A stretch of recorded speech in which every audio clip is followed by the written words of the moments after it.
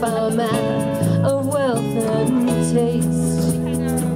I've been around for a long, long year, stole many men's soul and faith.